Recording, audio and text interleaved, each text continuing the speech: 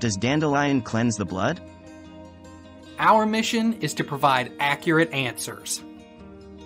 Dandelion can reduce blood pressure. Dandelion juice is high in potassium, which is effective in lowering blood pressure by replacing sodium. Try these super sauteed dandelion greens. Photo Julie Daniluk. This recipe is one of my favorites for detoxing because it's so balanced.